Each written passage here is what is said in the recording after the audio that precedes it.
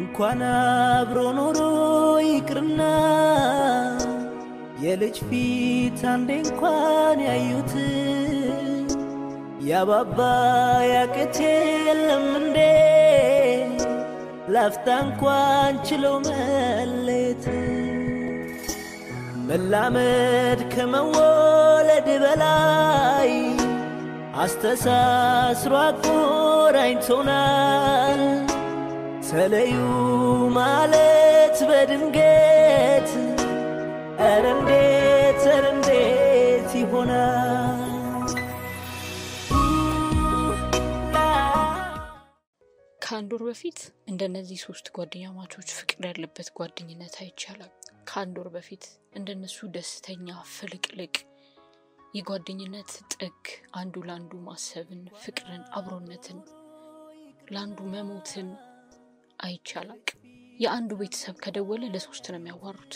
የማን ቤተሰብ እንደሆኑ እስከማይታወቅ ድረስ ብቻ የሶስቱን ቤተሰቦች ሲደውሉ ሁሉም በአንድ ድምፅ ነው የሚያወሩት። የትኛዋ ሀረግ፣ የትኛዋ ቤቲ፣ የትኛው ሶል እንደሆነ ማንም አያውቅም። የሶል እናት ስትደውል ለሁሉም እናት ነች።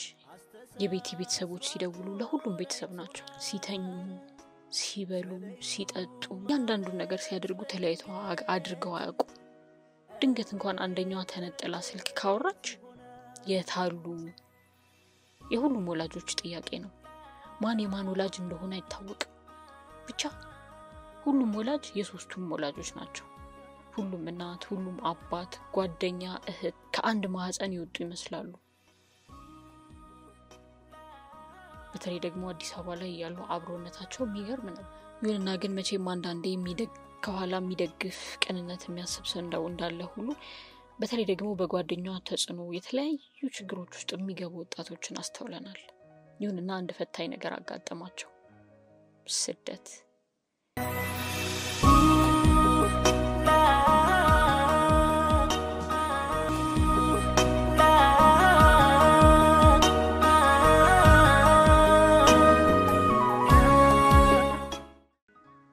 በየትኛው ጆሯቸው እንደሰሙት በየትኛው አይናቸው እንዳዩት እንኳን በቅጡ በማይታወቅ ሁኔታ ስደት አስመኛቸው፣ ለዚያውም በደላላ።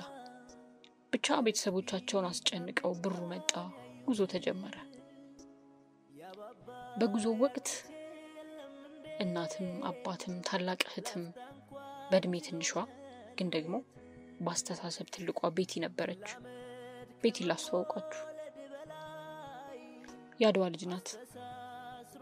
በጣም ፍልቅልቅ ኃላፊነት የሚሰማት የእናት ባህሪ ያላት ቆንጆዬ መልከ መልካም ወጣት ቡድኑን በማበረታታት ተስፋ በመስጠት ተስፋ የቆረጡትን በመጣላት ብቻ ብርሃናማ የሆነ ጭንቅላት ያላት ሁሌ ብርሃን የሚታያት ልጅ ነች። በጣም ተወዳጅ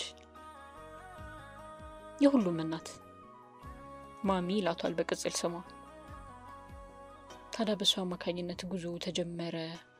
እያበረታታች ተስፋ እንዳይቆርጡ እያደረገች እነ ሀረግ እነ ሌሎች ብዙ ሰዎች ከኋላቸው አሉ። ጉዞ ወደ ሊቢያ።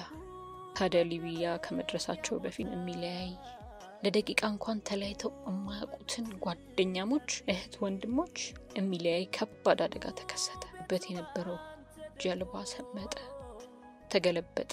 በወቅቱ ነፍሷ እስክትወጣ ድረስ ቤቲ ታበረታታቸው ነበር። ይሁንና ግን በአደጋው የቤቲ ሕይወት ወዲያው አለፈ።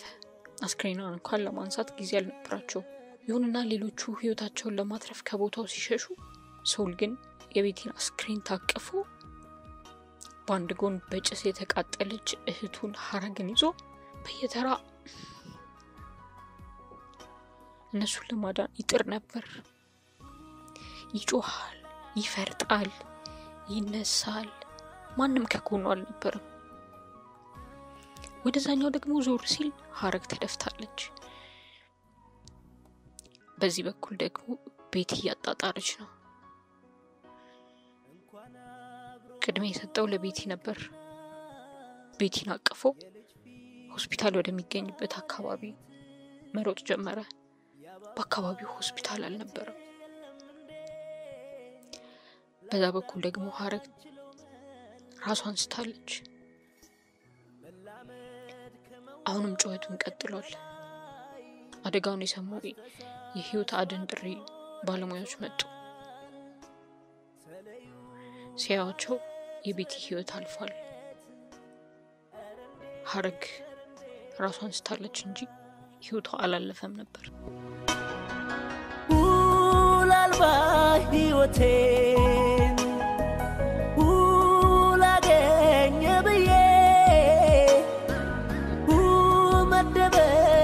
መደበቂያ ቦታ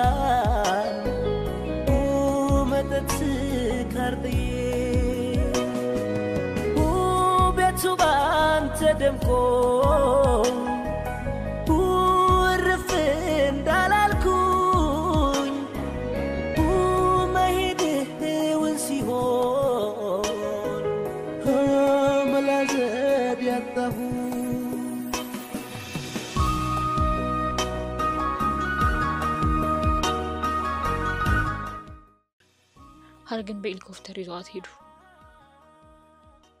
ወደ ሆስፒታል ገባች። ያኔ ለአንዴም ለመጨረሻም ጊዜ ተለያዩ። ቤቲ ከሰውነት ወደ በድንነት ተቀይራ አስክሬን ሆነች። ሀረግ ደግሞ በሞትና በህይወት መካከል ራሷን ስታ ሰላሳ አንድ ቀናትን አስቆጠረች። ሰለሞን ደግሞ ወደ ሌላ ሀገር አመራ።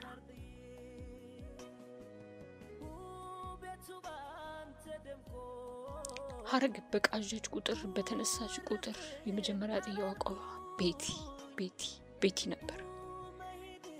አይዞሽ አለች እዛኛው ክፍል ከጎኗ ያሉ ሰዎች ወይም አስታማሚዎቿ ድምፅ ነበር።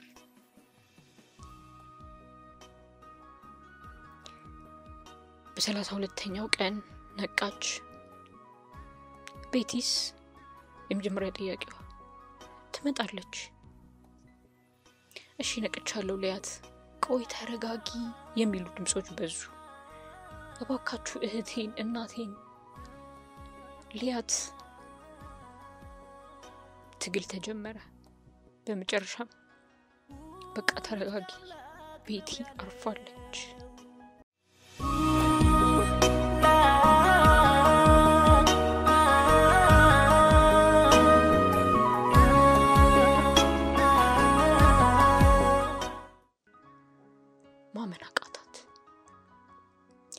ሆስፒታሉን በጩኸት አቀለጠችው። ግልኮሱ በጣጠሰች፣ ጮኸች፣ ፈረጠች። ቤቲን ግን ልትመልሳት አልቻለችም።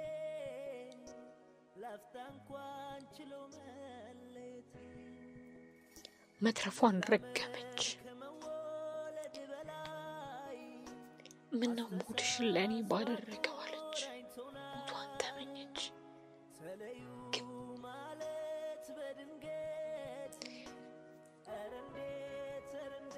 ቤቲ ልትመልሳት አልቻለችም።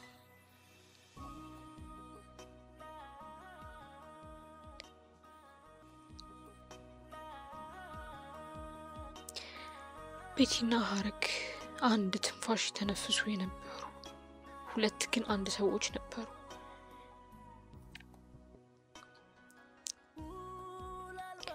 ሐዘኑ፣ ህመሙ፣ ስቃይ ሆነባት።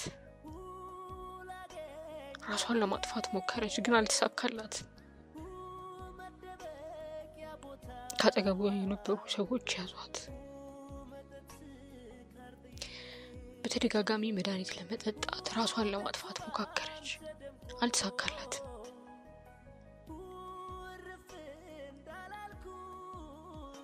በስቃይ ውስጥ ካሉት በታች ከሞቱት በላይ ሆና ትኖራለች። ዛሬ አንድ ወር ከአስራ አምስት ቀን ሆኗቸዋል። ቤቲና ሀረግ ከተለያዩ ሰውልም ወደ ሌላ ቦታ ሄዷል። ቤቲም አስክሬኗ ወደ አዲስ አበባ እስኪመጣ እየተጠበቀ ነው። ሀረግ ደግሞ ከሆስፒታል እንደወጣች ማገገም ስለጀመረች ወደ እስር ቤት ወስደዋታል። የሶስቱ ጓደኛሞች ወግ በዚህ ተቋጨ። ቤቲ ነፍስሽ በሰላም ትረፍ። ሶልና ሀረግ ድጋሚ ለመገናኘት ያብቃችሁ። ፈጣሪ በምህረት እጁ ይዳብሳችሁ። አስከፊው የደላሎች ስደት አስከፊው ስደት ዛሬም እንደቀጠለ ነው። ሌሎች እስከዚህ ህይወት ምን ትማራላችሁ? የዛሬው መልእክታችን ነው። የሶስቱ ጓደኛሞች ወግ መጨረሻው ይሄ ነው።